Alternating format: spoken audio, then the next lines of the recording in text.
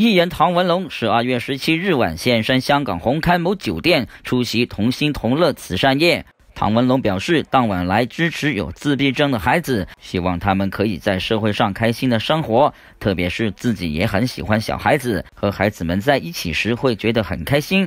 那你要不要快点生一个，亲自培养呢？我我现在现在我还没有婚姻，所以别的就不想了。呃，这种事情。以后有缘再说吧。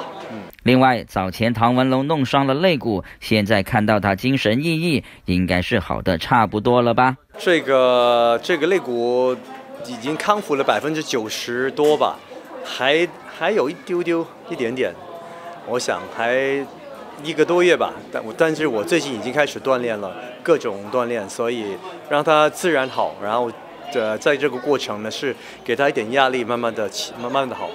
魔方传媒香港报道。